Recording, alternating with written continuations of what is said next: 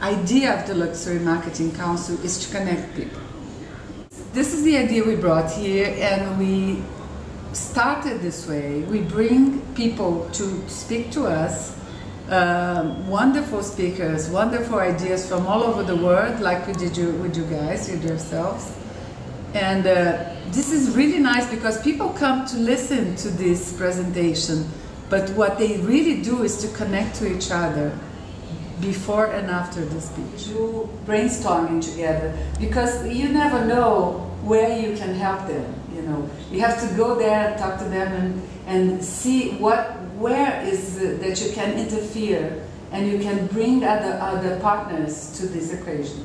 So I know which what each one is, is hoping to have. You know, this year or for the next six months. So I bring this idea to the others, and we sometimes we do events with two or three companies together, which is really wonderful because all of them spend less money with this, have more idea, and have more share of the market with this, I guess.